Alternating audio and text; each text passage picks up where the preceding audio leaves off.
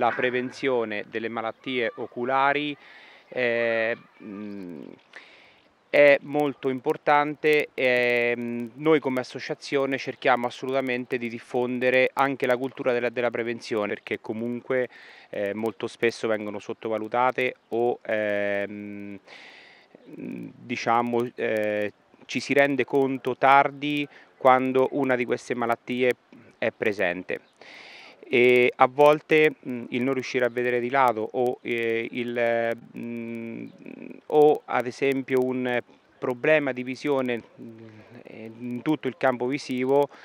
eh, quando viene individuato, quando diciamo, eh, la persona eh, si rivolge al professionista potrebbe essere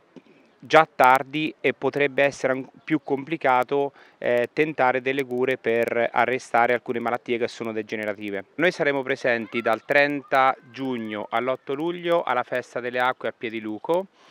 e poi a fine luglio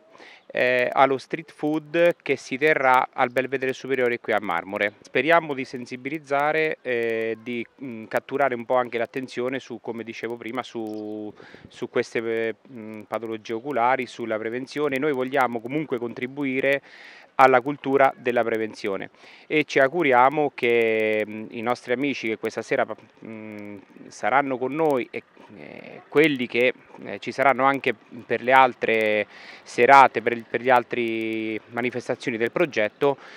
eh, abbiano in qualche modo un, ehm, ricevano un messaggio sull'importanza di, di, prevedere queste patologie. Io sono Dario Colarieti e sono vicepresidente dell'Atletic Track and Run. Allora per questa giornata abbiamo fatto una passeggiata sensoriale via, eh, al silenzio, col buio in modo che la gente capisce un attimo il,